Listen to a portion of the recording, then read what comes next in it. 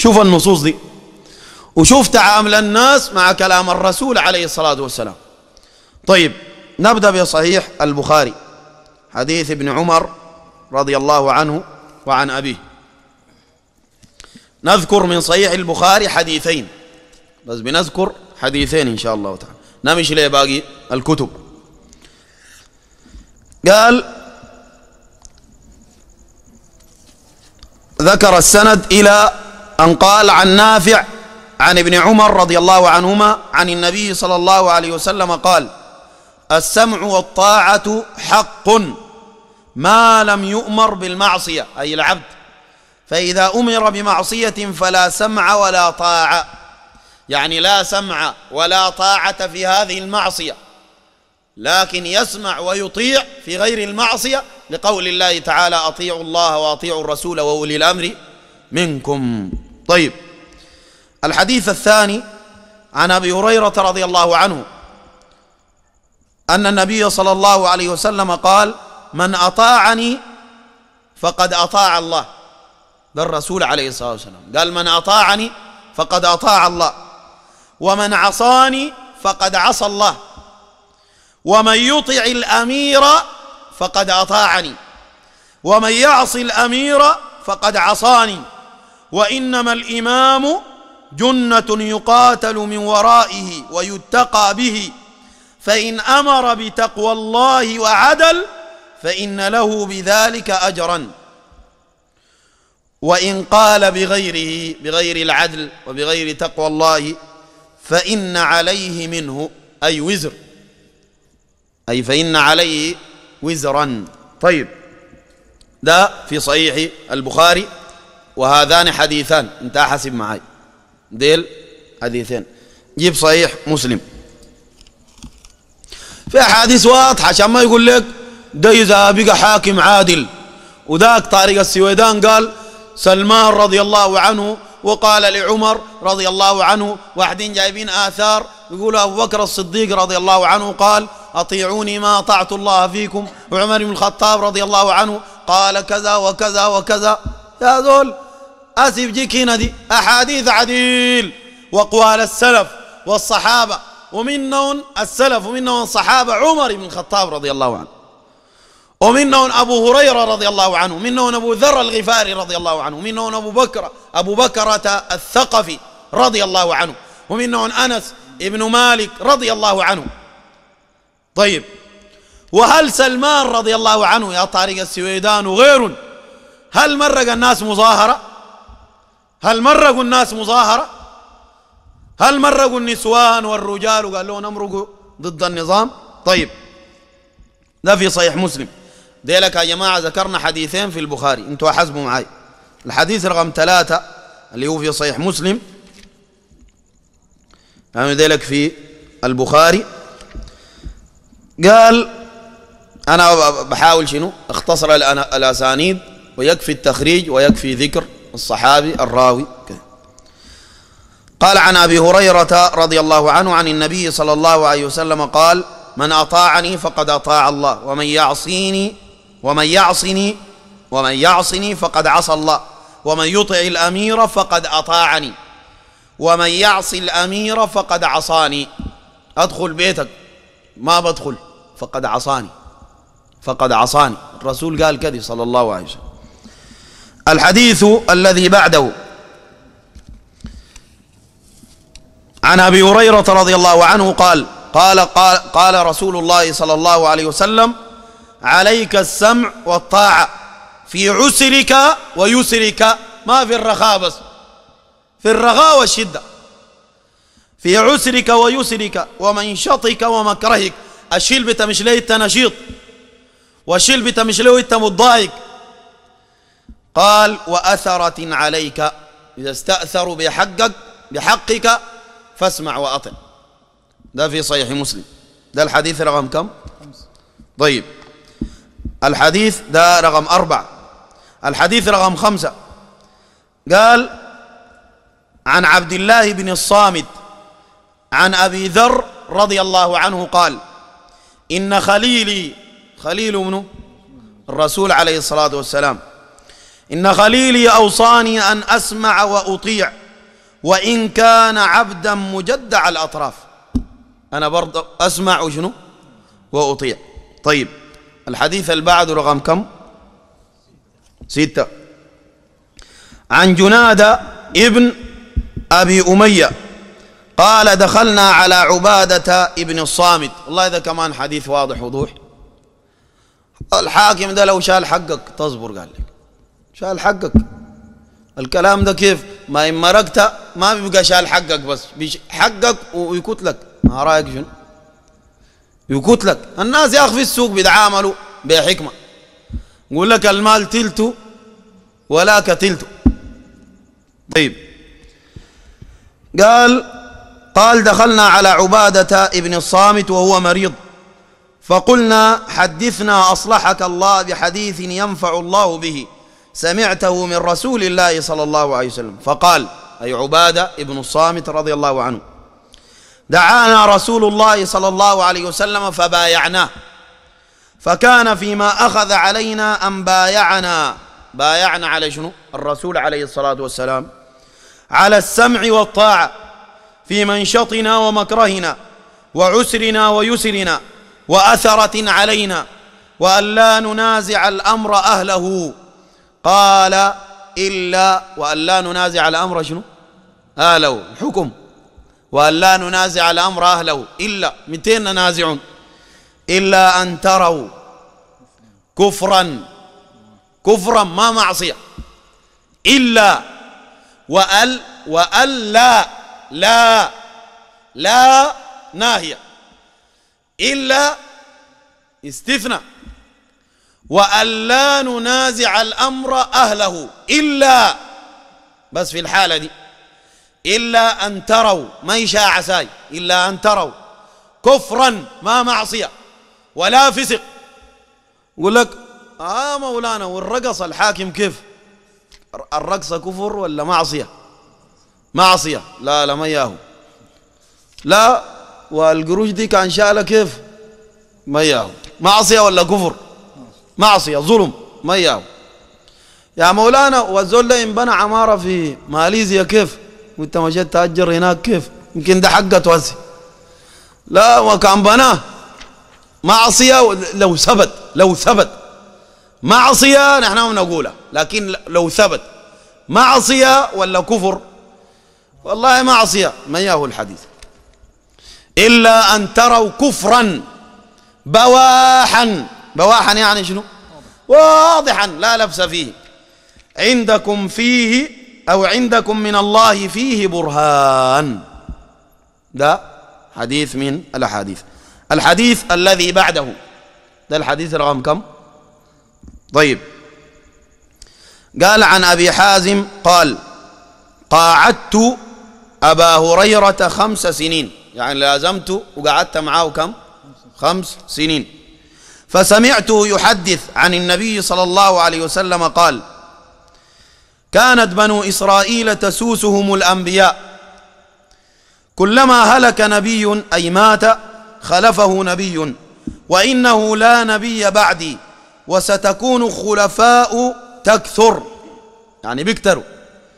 قالوا فما تأمرنا؟ قال فو فو يعني أوفوا. فو بيعة الأول فالأول. وأعطوهم حقهم فإن الله سائلهم عما استرعاهم. انت ادي حقه. وطيب حقنا نحن. الله بيسألك لو ما اداك الله بيسأله سبحانه وتعالى. طيب الحديث الذي بعده عن عبد الله قال وهو عبد الله بن مسعود رضي الله عنه. ده الحديث رقم سبعة. سبعة. أحسبوها من سبعة أحسبوها من سبعة الدو ذاك ما هدية اليوم. أحسبوها من سبعة طيب. قال عن عبد الله بن مسعود رضي الله عنه قال قال رسول الله صلى الله عليه وسلم. ده حديث واضحة ما يقول لك يا, يا الأحاديث دي في الحاكم العادل. وإذا حكم بالحق وكذا وزي عبد الحي يوسف ولا طارق السويدان ولا غيره. ده لو شال حقه عديل ظالم. وده رد على الشين آدم إبراهيم الشين. نازل والله الذي لا إله غيره. ناس ما ناس حق. لو زول حق كان اتبع النصوص. ولو زول دين جد كان بيبدأ بالعقيدة. ولو شجاع حق كان بحارب أهل الشرك. أول شيء. والله كان ده على التوحيد. انت هايج وقايم وقاعد مالك الله شالوا حقنا. وناس الشرك شالوا حق منه شالوا حق الله. أعظم ياتو. إنت قال هو الله قادر يشيل حقه. لكن قال ذلك ولو يشاء الله لانتصر منهم ولكن ليبلو بعضكم امتحن امتحنا بتلبد ولا بتناصر الحق؟ دافع عن الله سبحانه وتعالى. قال عن عبد الله أي ابن مسعود رضي الله عنه قال قال رسول الله صلى الله عليه وسلم إنها ستكون بعدي أثرة وأمور تنكرونها.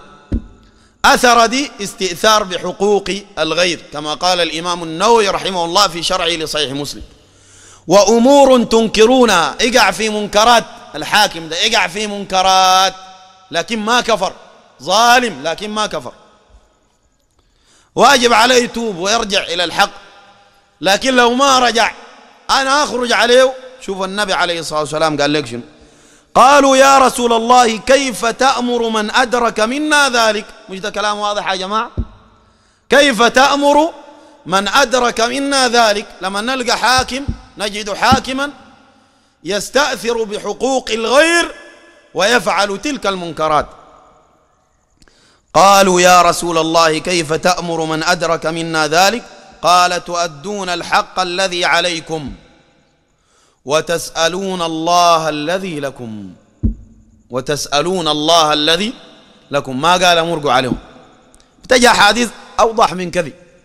في صحابة عديل بيسألوه بيقول له السيف نشيل عليهم السيف ننابزهم بالسيف بتجيك أحاديث الليلة واضحة إلا تجروا تاني إلا يشوفوا لهم حاجة تاني ما تقبلوا عليه ناس الدين. والله ونحن طمعنا ورجاؤنا في الله سبحانه وتعالى طمعنا ورجاؤنا في الله سبحانه وتعالى أن يسمع هذه الكلمات أقوام جهلوا حكم الله فيعرفونه فيرجعون إلى الحق. والله لقيت شاب الشاب ده الله اداه قوة في جسده قوة. جاء سألني في الكلام ده في الفتحاب قال لي الخروج جبت لي أقوال الأئمة الأربع ولا حديث ناقشت لي المسألة. بكرة حصل له موقف قدامه. قال لي والله أنا من الغضب يدي بترجف. قوي. قال لي والله مشيت دخلت مكتبي بس قعدت. ما قدرت أكتب أي شيء قلت طالما حرام والله ما أضارب زول. ولا أخرج طالما حرام. وكثير من الناس كذي. استغلوا ديل دعاة الباطل وأئمة السوء الأئمة المضلون والسياسيون أيضا. استغلوا جاه الكثير من الناس وعاطفة ويقودون للمهلكة. كالنعاج والله هون يتفرجوا من بعيد. حس إذا النون ده يتأهل قال وقال كمان شنو؟ قدم نفسه يبقى شنو؟ يبقى رئيس. يا جنا دي بجيك لاسي بعد شوية. وانت فزيت يبقوك كيف ذاته؟ يقبضوك من وين ذاته؟ عشان تبقى تبقى رئيس أنت. رئيس عالم يا ودها طيب. قال دار يبقى الرئيس عديل ده كذا بيجيك له في وقته. أنا نذكر الأحاديث ذا يا جماعة. طيب. قال عن عبد الرحمن ده الحديث رقم ثمانية. قال عن عبد الرحمن ابن عبد رب الكعبة. قال دخلت المسجد فإذا عبد الله بن عمرو بن العاص. فإذا عبد الله بن عمرو ابن ابن عمرو بن العاص رضي الله عنه. جالس في ظل الكعبة والناس مجتمعون عليه. فأتيتهم فجلست إليه. إلى عبد الله بن عمرو صحابي جليل رضي الله عنه. فقال كنا مع رسول الله صلى الله عليه وسلم في سفر. فنزلنا منزلا فمنا من يصلح خباءه ومنا من ينتظل ومنا من هو في ومنا من هو في جسر في جشره إذ نادى منادي رسول الله صلى الله عليه وسلم الصلاة جامعة. يعني المنادي نادى الصلاة جامعة. قال فاجتمعنا إلى رسول الله صلى الله عليه وسلم فقال عليك الله أسمع الحديث ذا. والله يا جماعة ده من أعظم الأحاديث المؤثرة في هذا الباب. وأي زول عنده إنصاف وأي زول داير الخير لنفسه ولأولاده ولعرضه والله يسمع الحديث ذا يدخل بيته طوالي.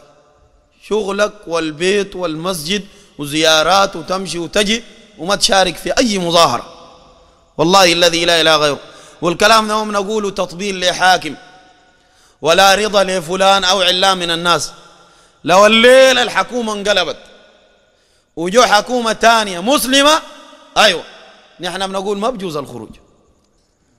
وده الحديث رقم ثمانية. طيب قال فاجتمعنا إلى رسول الله صلى الله عليه وسلم فقال إنه لم يكن نبي قبلي إلا كان حقا عليه أن يدل أمته على خير ما يعلمه لهم وينذرهم شر ما يعلمه لهم. يوريهم أي خير بيعرفوا للأمة عشان يعني ينالوا هذا الخير. ويحذرهم من أي وينذرهم من أي وينذرهم من من أي شر. وينذرهم. طيب. قال وإن أمتكم هذه جعل عافيتها في أولها.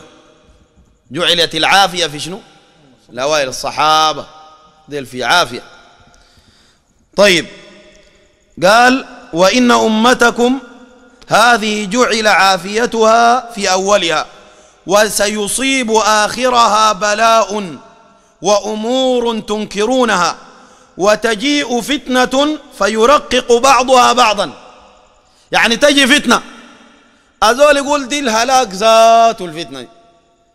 تجي فتنة تانية بعد أكبر منها القبلية تشوف رقيقة تاني تجي فتنة. أكبر. القبلية تشوفها شنو؟ يرقق بعضها بعضا. قال وتجيء الفتنة فيقول المؤمن هذه مهلكتي. ثم تنكشف.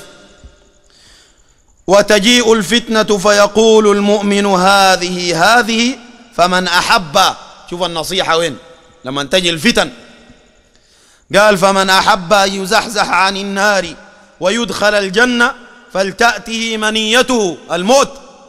فلتأتي منيته وهو يؤمن بالله واليوم الآخر وليأتي إلى الناس الذي يحب أن يؤتى إليه. الدين الشيله بحب الدون له طيب. ومن بايع إماما ده الشاهد من الحديث. ده الحديث رقم ثمانية. ومن بايع إماما فأعطاه صفقة يده وثمرة قلبه فليطعه إن استطاع. تطيعه إن استطعت. فإن جاء آخر جاء حاكم تاني وده الحاكم ده قاعد جاء واحد تاني فإن جاء آخر ينازعه فاضربوا عنق الآخر. قال فدنوت منه. ذاك التابعي دنا من الصحابي.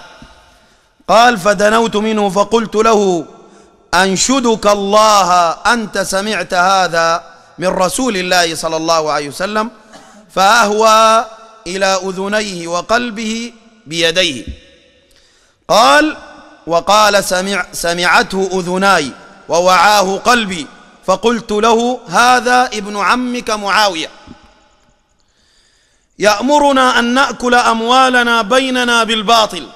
نتكلم عن منه معاوية رضي الله عنه. قال شيخ الإسلام ابن تيمية رحمه الله أجمع العلماء على أن أفضل الملوك بعد الخلفاء الراشدين وهم خلفاء هو معاوية رضي الله عنه. أفضل الملوك وأفضل من عمر بن عبد العزيز ولا مقارنة بينهما. طيب. قال هذا ابن عمك معاوية يأمرنا أن نأكل أموالنا بيننا بالباطل ونقتل أنفسنا. والله يقول يا أيها الذين آمنوا لا تأكلوا أموالكم بينكم بالباطل إلا أن تكون تجارة عن تراج عن تراض منكم ولا تقتلوا أنفسكم إن الله كان بكم رحيما. قال فسكت ساعة ثم قال أطعه في في طاعة الله أطعه في طاعة الله واعصه في معصية الله. كان أمرك بطاعة أطيعه كان أمرك بمعصية؟ مالك؟ ما تعصيه. الرد على الشبهة دي أن معاوية رضي الله عنه جاءه المسور المسور ابن مخرمة رضي الله عنه. فالمسور ابن مخرمة رضي الله عنه أيوة فناقشه في بعض الأمور. قال معاوية رضي الله عنه تبت إلى الله تعالى فهل لك بعد هذا حجة؟ قال لا يا معاوية انتهى الأمر. الحديث الذي بعده ده الحديث التاسع. ده الحديث التاسع. عن وائل الحضرمي رضي الله عنه قال سأل سلمة ابن يزيد الجعفي رسول الله صلى الله عليه وسلم فقال أسمع الأحاديث دي واضحة كيف؟ ما بجوز الخروج. حرام تمرق مظاهرات. واجب عليك تتوب إلى الله سبحانه وتعالى. قال سأل سلمة ابن يزيد الجعفي رسول الله صلى الله عليه وسلم فقال يا نبي الله أرأيت إن قامت علينا أمراء؟ عليك الله أسمع الكلام ده واضح كيف؟ ودي هذا ده صحيح مسلم. هذا برضه كوز؟ ده برضه كوز؟ ادوك كم؟ عشان تجيب الدم. ده برضه قال فقال يا نبي الله أرأيت إن قامت علينا أمراء يسألون حقهم؟ بيطلبوا مننا حقهم ذيل الأمر. ويمنعوننا حقنا. في كلام أوضح من ده يا جماعة؟ هم بيطلبوا حقهم. ولما نجي لي حقنا ما بدونا. ده سؤال للرسول عليه الصلاة والسلام. قال فأعرض عنه ثم سأله فأعرض عنه ثم سأله في الثانية أو في الثالثة فجذبه الأشعث ابن قيس وقال اسمعوا وأطيعوا فإنما عليهم ما حملوا وعليكم ما حملتم. مش كلام واضح؟ فإنما عليهم ما حملوا وعليكم ما حملتم. كله بتلقاه قدام. بتلقاه بس أنت تصبر كيف؟ الحديث الذي بعده ده الحديث العاشر. ده كمان من أوضح الأحاديث. لما الناس الجزولي ومحمد علي الجزولي والجماعة ديل المجارم ديل مشوا يضعفوه عديل. ما في صحيح مسلم. مشوا يضعفوه عديل. واضح ده ما في. تشوف ده واضح وضوح. حاكم ظالم عديل شال قروشك وجلدك. جلدك مش بومبان زاي. جلد عديل جلد خراتيش. طيب قال حذيفة بن اليمان في صحيح مسلم. قال حذيفة بن اليمان رضي الله عنه. قلت يا رسول الله إنا كنا بشر زمان كنا في جاهلية وشر. فجاء الله بخير بهذا الدين. فنحن فيه الليلة نحن في خير الحمد لله صحابة. فهل من وراء هذا الخير شر؟ تاني بيجي شر. قال نعم في رواية وفيه شنو؟ لا لا لما نيجي في الشر بيقول شر لما نيجي في الخير تاني بيقول وفيه شنو؟ دخن. قلت هل وراء ذلك الشر خير؟ قال نعم. قلت فهل وراء ذلك الخير شر؟ قال نعم. هنا قال نعم. قلت كيف؟ قال يكون بعدي أئمة. اسمع الكلام ده واضح كيف. يكون بعدي أئمة لا يهتدون بهداي. ولا يستنون بسنتي وسيقوم فيهم رجال. الحكام ديل والأئمة ديل معاهم أعوان رجال معاهم جنود تأنهم وسيقوم فيهم رجال قلوبهم قلوب الشياطين في جثمان إنس. ديل ناس عدل ولا ناس شر؟ ناس شر. طيب الحال شنو؟ قال قلت كيف أصنع يا رسول الله إن أدركت ذلك؟ مش ده كلام واضح؟ كيف أصنع يا رسول الله إن أدركت ذلك؟ قال تسمع وتطيع للأمير وإن ضرب ظهرك وأخذ مالك فاسمع وأطع. كلام ده يا جماعة واضح ولا ما واضح؟ طيب نمشي. ده الحديث رقم عشرة. الحديث رقم 11 عن أبي هريرة رضي الله عنه ديل في صحيح مسلم. ديل.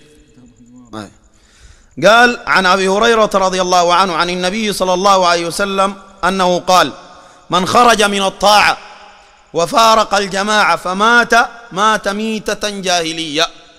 دي سوء خاتمة يا أستاذ. دي سوء خاتمة قال شهيد وشهداء الثورة وجايبين صور وكذا وكذا وكذا. دي سوء خاتمة يا أمة. دي سوء خاتمة طيب واحدين والله لقيتهم في المسألة دي. والقضية دي بتاع فتن واحد تلقاه يصور في البنات من من جوا. هي البنات برا. وجوا من القزاز يصور. يا جماعة دي الناس دي نسي. يا جماعة الجلد ده كيف؟ شوف المرة دي بشيلوها من وين؟ شوف بيرفعوها في التاتشر من وين؟ شوف المرة دي جاتها أزمة. شوف المرة ديك نفسها. يا زول.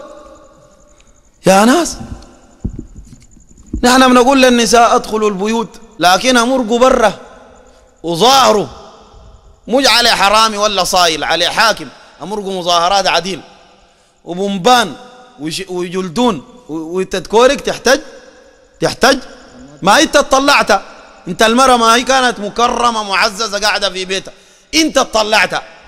الله سبحانه وتعالى من أهبط آدم وحواء من الجنة قال فلا يخرجنكما من الجنة فتشقى فلا يخرجنكما. شيطان ما يمركنا الاثنين.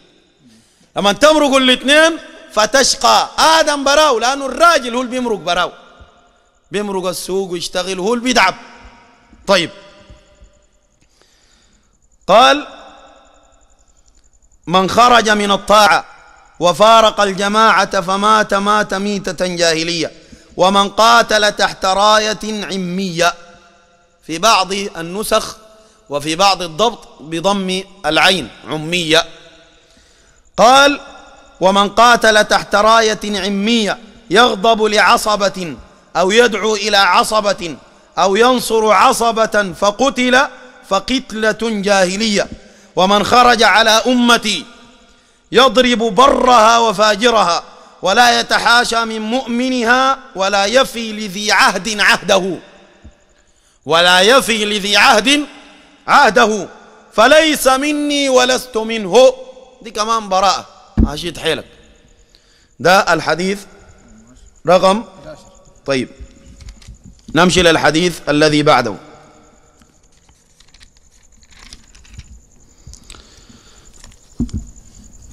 ذاك رقم 12 مش 11 الجاي ده 12 طيب. قال عن ابن عباس رضي الله عنهما قال قال رسول الله صلى الله عليه وسلم دي كلها في صحيح مسلم إلا الاثنين الأوائل في البخاري. وفي البخاري ويكون في مسلم. قال قال رسول الله صلى الله عليه وسلم من رأى من أميره شيئا يكرهه فليصبر. ما قال فليخرج قال فليصبر. فإنه من فارق الجماعة شبرا فمات فميتة جاهلية. الحديث الذي بعده. قال عن جندب ابن عبد الله البجلي قال قال رسول الله صلى الله عليه وسلم من قتل تحت راية عمية يدعو عصبية أو ينصر عصبية فقتلة جاهلية. الحديث الذي بعده. الحديث رقم كم؟ 14 قال عن نافع قال جاء عبد الله بن عمر رضي الله عنه وعن أبيه إلى عبد الله بن مطيع حين كان من أمر الحرة ما كان. قال زمن يزيد ابن معاوية فقال فقال أحدهم أو فقال اطرحوا لأبي عبد الرحمن وسادة. ده عبد الله بن مطيع لما شاف عبد الله ابن عمر وعبد الله بن عمر يقال له أبا عبد الرحمن. قال اطرحوا لأبي عبد الرحمن وسادة. فقال إني لم آتك لأجلس أتيتك لأحدثك حديثا سمعته سمعت رسول الله صلى الله عليه وسلم يقوله. قال سمعت رسول الله صلى الله عليه وسلم يقول من خلع يدا من طاعة لقي الله يوم القيامة لا حجة له. ومن مات وليس في عنقه بيعة مات ميتة جاهلية. طيب الحديث الذي بعده الحديث رقم 15 عن عرفجة قال سمعت رسول الله صلى الله عليه وسلم يقول إنه ستكون هنات وهنات فمن أراد أن يفرق أمر هذه الأمة وهي جميع فاضربوه بالسيف كائنا من كان. الحديث الذي بعده اللي هو حديث رقم 16 عن يعني تدعون لهم بالخير ويدعون لكم شنو؟ بالخير. وشرار أئمتكم. يعني أقعب أئمة حكام يكونوا عليكم. وشرار أئمتكم الذين تبغضونهم ويبغضونكم. بتكرهون وهم شنو؟ بيكرهوكم وتلعنونهم ويلعنونكم. أنتم بتلعنون وهم شنو؟ بيلعنوكم. قالوا قلنا يا رسول الله ده الصحابي عوف ابن مالك ابن مالك. شوف الكلام ده واضح كيف. قلنا يا رسول الله أفلا ننابزهم عند ذلك؟ لما نبقوا شرار. إن نبغضهم وهم يبغضون ونلعنهم ويلعنون أفلا ننابزهم عند ذلك؟ سيف. قال لا ما أقاموا فيكم الصلاة. لا ما أقاموا فيكم الصلاة. ألا من ولي عليه وال فرآه يأتي شيئا من معصية الله فليكره فليكره ما يأتي من معصية الله. ولا ينزعن يدا من طاعة. والله أنا ما لقيت أوضح من الحديث. حاكم وقع في معصية. وده بيجمع عليك التفسير الصحيح لشنو؟ للأحاديث السابقة. قال ألا من ولي عليه وال فرآه يأتي شيئا من معصية الله من معصية الله.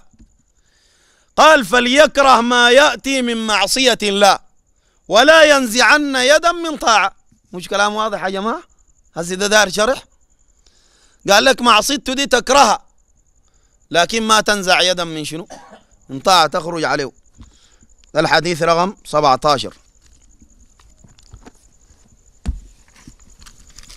الحديث رقم 18 أو 19 18 طيب في سنن النسائي كل الكتب جبناه البخاري ومسلم وصحيح سنن النسائي للألباني والترمذي وابن ماجه. وما كذي بس. وكلهم وما هذه بس وسنن أبي داود.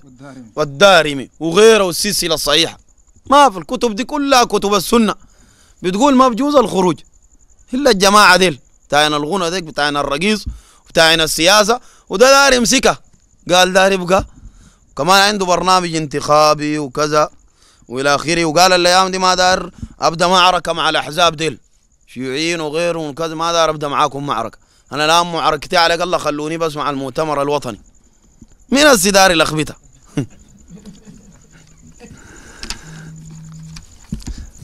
وبعدين قال داير مناظرة معاكم. المشكلة طفش برا البلد. هسه أنا داير مناظرة معاكم. أليم فيك وين؟ أنا دايرة وقاعد في السودان دين. لا مارق ماليزيا ولا غيرها قاعد في البلد. إنت كذا تعال. تعال قرب. خوافين مارقين. ولو دين. انت مارق ليه لو دين يا ذنون وغيره. انت مارق ليه يا أخي موسى عليه السلام مشى لفرعون هناك. وقال له لقد علمت ما أنزل هؤلاء إلا رب السماوات والأرض بصائر وإني لأظنك يا فرعون مثبورا. ذنون ذنون قال خطاب عمر البشير زي فرعون. وقال صبروا له بس ستة شهور ولا السنة الجاية بيقول لكم أنا ربكم الأعلى عديل كان عليك الله في فجور في الخصومة أكثر من دي؟ 30 سنة وقاعد في البلد دي ما قال أنا ربكم الأعلى بس يقول السنة دي يعني عشان أنت بقيت مرشح معاه؟ وقال قال مرشح مع الرئيس قال. قاطع نص عمك ومارق ماليزيا وبشكر في الصوفية وأنا ما جايك له. شكر في الصوفية جايبينه في صورة مع الترابي. وقال بناظر أهل الدين. وما قادر يميز بين حديث أبي حديث النبي عليه الصلاة والسلام وبين أثر عمر بن الخطاب إن ثبت عنه. ودار يناظر منه؟ ناس الدين. هذا ذنون. الله البلد دي غايته لف ودوران. وأي زول يتكلم؟ يدو منبر يكورك بس. وجبن عجيب. ما لقينا عبد الحي يوسف ده يصادم أهل الشرك. بل مشى لنا سود البيض عبد الحي يوسف. قال لهم جينا نتعلم منكم الدين للخليفة. وشال معاه الفاتحة. خدت خدت شال معاه الفاتحة وقال جينا نتعلم منكم الدين. وجاي بجاي طالب بالعدل. أعظم عدل التوحيد. أعظم عدل. شهد الله أنه لا إله إلا هو. والملائكة وأولو العلم قائما بالقسط. لا إله إلا هو العزيز. قبل ما الطالب بالعدل مع الناس طالب بالعدل بإعطاء الحق لصاحب الحق لله سبحانه وتعالى. توحيد يا أخي شرك منتشر. طيب ده في سنن النسائي. في الحديث رقم أربعة ألف ومية أربعة وسبعين. قال عن أبي وائل والشعبي قال قال جرير أتيت النبي صلى الله عليه وسلم فقلت له أبايعك على السمع والطاعة فيما أحببت وفيما كرهت. قال النبي صلى الله عليه وسلم أو تستطيع ذلك يا جرير؟ أو تطيق ذلك؟ قال قل فيما استطعت. قال فبايعني. قال والنصح لكل مسلم. أي وأن أنصح لكل مسلم. طيب السلسلة الصحيحة للألباني نواصل في الأحاديث. حديث معاوية رضي الله عنه ده حديث لجمع من الصحابة. ده الحديث رقم واحد وعشرين. طيب. هو حديث معاوية. وابن أبي سفيان رضي الله عنه وهو حديث أبي سعيد الخدري رضي الله عنه وحديث أبي هريرة رضي الله عنه وحديث أنس بن مالك رضي الله عنه وهو حديث عبد الله بن مسعود رضي الله عنهم جميعا. قال رسول الله صلى الله عليه وسلم إذا بويع لخليفتين فاقتلوا الآخر وفي الرواية الأخرى الآخرة منهما وسبق ذكر هذا الحديث أيضا في بعض كتب السنة. الحديث الذي بعده قال النبي صلى الله عليه وسلم وهذا حديث أيضا من أوضح الأحاديث. عن العرباض بن سارية رضي الله عنه قال وعظنا رسول الله صلى الله عليه وسلم وفي السلسلة الصحيحة وفي سنن أبي داود وفي سنن شنو؟ الترمذي. قال وعظنا رسول الله صلى الله عليه وسلم بعد صلاة الغداة موعظة بليغة. بعد صلاة الفجر. ذرفت منها العيون ووجلت منها القلوب أو وجلت منها القلوب يعني خافت. فقال رجل من أصحابه يا رسول الله كأنها موعظة مودع أي فأوصنا. قال أوصيكم بتقوى الله والسمع والطاعة وإن كان عبدا حبشيا. يعني تسمع شنو؟ وتطيع. فإنه من يعش منكم بعدي يرى اختلافا كثيرا فعليكم بسنتي وسنة الخلفاء الراشدين المهديين بعدي. عضوا عليها بالنواجذ وإياكم محدثات الأمور فإن كل محدثة بدعة وكل بدعة ضلالة. الحديث الذي بعده قال عن أبي هريرة رضي الله عنه وهذا فيه وعيد من النبي صلى الله عليه وسلم هو في السلسلة الصحيحة برقم 1758 عن أبي هريرة رضي الله عنه عن النبي صلى الله عليه وسلم قال ثلاثة لا يكلمهم الله يوم القيامة ولا ينظر إليهم ولا يزكيهم ولهم عذاب أليم. ثلاثة ذيل منه رجل على فضل ماء بالفلاء يمنعه من ابن السبيل. دول عنده موية في الصحراء واللي عنده وزياده وبيمنع من ابن السبيل. وهو في الصحراء. قال ورجل بايع رجلا بسلعة بعد العصر فحلف له بالله لأخذها بكذا وكذا فصدقه وهو على غير ذلك. حلف له بالله بعد صلاة العصر. قال له والله اشتريتها بكذا وكذا. وذاك صدقه وكذب. الثالث وده الشاهد من الحديث. قال ورجل بايع إماما ورجل بايع إماما يعني حاكما أميرا. لا يبايعه إلا لدنيا. فإن أعطاه منها وفى وإن لم يعطه منها لم يفي. كلام ده يا جماعة واضح ولا ما واضح؟ واضح. الحديث الذي بعده وهو في سنن الدارم ده الحديث رقم كم؟ 24 حديث ابن عباس رضي الله عنهما. خلاص قربنا إن شاء الله. أحاديث كثيرة جدا. قال حدثنا أبو رجاء في سنن الدارمي. العطاردي قال سمعت ابن عباس يرويه عن النبي صلى الله عليه وسلم قال من رأى من أميره شيئا يكرهه فليصبر. فإنه ليس من أحد يفارق الجماعة شبرا فيموت إلا مات ميتة جاهلية. إلا مات ميتة جاهلية. ده الحديث رقم كم؟ 24 والحديث رقم 25 في صحيح مسلم وفي غيره. من رواية أبي هريرة رضي الله عنه. وهو مشهور. قال النبي صلى الله عليه وسلم إن الله يرضى لكم ثلاثا ويكره لكم وفي لفظ يسخط لكم ثلاثا. أن تعبدوه ولا تشركوا به شيئا. وأن تعتصموا بحبل الله جميعا ولا تفرقوا وأن تطيعوا من ولاه الله أمركم. ويكره أيوة في دي الرواية ثانية ينصح و والنصيحة فيما بينك وبينه لحديث النبي صلى الله عليه وسلم في السنة لابن أبي عاصم كما ذكرناه آنفا من كانت له نصيحة لذي سلطان فلا يبده علانية وليأخذ بيده وليخل به فإن قبل فذاك وإلا فقد أدى الذي عليه. ويكره لكم ثلاثا قيل وقال وكثرة السؤال وإضاعة المال. دي خمسة وعشرون حديثا من أحاديث النبي صلى الله عليه وسلم. المؤمن التقي بيكفيه خمسة. بل بيكفيه شنو؟ واحد بس. واحد الرسول قال لك ما تمرق صلى الله عليه وسلم. وقال لك وشرار أئمتكم الذين تبغضونهم ويبغضونكم تلعنونهم ويلعنونكم. قالوا يا رسول الله عوف بن مالك أفلا ننابزهم؟ قال لا ما أقاموا فيكم الصلاة. مساجد مفتوحة. والصلاة شغالة وإن ظلم وإن جار ودي أقوال أئمة جماعة. ودي أحاديث النبي عليه الصلاة والسلام. وده مذهب السلف.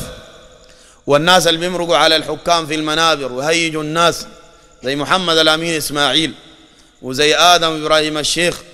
الشين الشين الشين. وزي وزي محمد علي الجزولي محمد علي الجزولي. وزي ناس النون ديلك اللي بيكوركم من برا. وزي ديل كلهم قال ابن حجر العسقلاني رحمه الله والقعدية والناس اللي بيقول لك سلمية. سلمية ذاك بيغني. قال سلمية سلمية والناس في السجون مرمية. يا ود والله الناس اللي يتفسحوا فسحة في البلد دي. ابن حجر العسقلاني رحمه الله قال والقعدية قوم من الخوارج. ده صنف منهم.